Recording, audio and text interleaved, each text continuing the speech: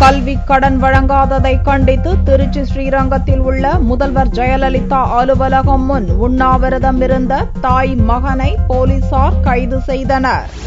திருச்சி ஸ்ரீரங்கம் நடுக்கொண்டையம்பேட்டையைச் சேர்ந்த செலின் மேரிக்கு இரண்டு மகன்கள் உள்ளனர். கணவரை இழந்த இவர் தனது மூத்த மகன் சாக்ரட்டிஸை அப்பகுதியில் உள்ள தனியார் பாலிடெக்னிக்கில் மெக்கானிக் என்ஜினியரிங் பிரிவில் சேர்த்தார். கூலி தொழிலாளியான செலின் மேரி தனது மகனின் படிப்பிற்காக திருவானைக்காவலில் உள்ள இந்தியன் வங்கியில் கல்விக் கடன் கேட்டு விண்ணப்பித்தார். அவரது விண்ணப்பத்தை ஏற்ற வங்கி மேலாளர் கடன் வழங்காமல் ஒரு மாத காலமாக அலைக்கழித்துள்ளார். இதனால் அதிருப்தியடைந்த செலின் மேரி மற்றும் மகன் சாக்ரட்டிஸ் செவ்வாய்க்கிழமையன்று ஸ்ரீரங்கத்தில் உள்ள முதல்வர் அலுவலகம் முன்பு உண்ணாவிரத போராட்டம் நடத்தினர். தகவல் அறிந்து சம்பவ இடத்திற்கு விரைந்து வந்த போலீசார் இருவரையும் கைது செய்து அழைத்துச் சென்றனர். பிள்ளை என்ன மாதிரியே கஷ்டப்படணுமா எங்க வீட்டுக்கு அச்சத்தை அஞ்சு வருஷம் ஆச்சு நீ கடை வாங்கி ஒரு வருஷமா நான் வட்டிக்கு மேல வட்டி வாங்கி நான் படிக்க வச்சுட்டேன் நான். திரும்பி எனக்கு கே- பணம் கேட்டா தர மாட்டேங்கிறாங்க எனக்கு. எங்க பண்ணாலும் உனக்கு தர மாட்டேன் உனக்கு இங்க இல்ல லோன் அப்படிங்கிறாங்க. அப்ப கொண்டே மெடிக்க அந்த பேங்க்ல தான் லோனுன்னு சொன்னாங்க. லிஸ்ட் எடுத்து பார்த்துட்டு கலெக்டர் ஆஃபீஸ்ல சொன்னாங்க.